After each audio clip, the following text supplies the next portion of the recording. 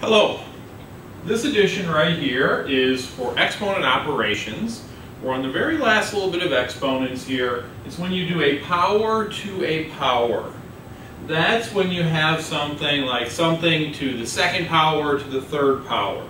Algebraically, it would be x to the a to the b power. And when you get a power to a power, that's when you get to multiply the exponents.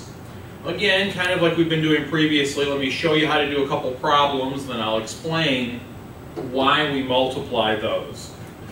Okay, the first example, x to the fifth to the fourth power. You have a power to a power. This is when you get to multiply. 5 times 4 is 20. So the answer for this is x to the 20th.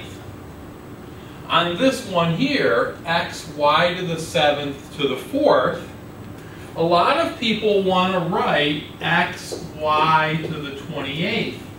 But you have to recognize that there is a 1 there as an exponent. It's an understood 1.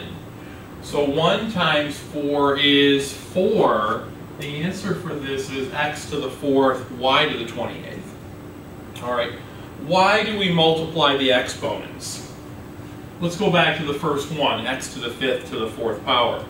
If I were to write 7 to the fourth power, you would tell me that means 7 times 7 times 7 times 7. You would write it out four times, wouldn't you? Well, x to the fifth to the fourth power, that means x to the fifth times x to the fifth times x to the fifth times x to the fifth.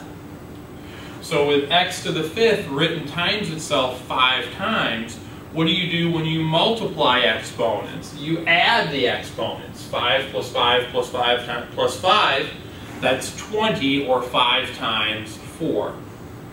Alright, so that's the reason we multiply the exponents. Alright, the third one I threw out here, I threw out one with a number in it. Again, remember, even numbers have exponents of 1. So when you do this, you've got to multiply that 1 times the 2. So this equals 3 to the second, and 3 times 2 is 6, x to the 6th. Now, if this is something you can easily calculate, 3 to the second, 3 times 3, that's 9 it's something you can reasonably calculate, we're going to calculating it. Leaving it 3 to the second doesn't make any sense. If we look at the, the next example with a 1, 1 times 7 is 7, so that's 4 to the 7th. 7 times 5 is 35, so that'll be z to the 35th.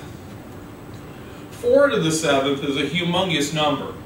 4 times 4, 16, times 4, 64, times 4, 256, times 4 again, 1,000, 1,024, etc. You just, it would get to be such a large number, it's a lot easier to leave it as an exponent. Anyway, that's when you're doing a power to a power. Just keep in mind that this is when you multiply exponents. All right?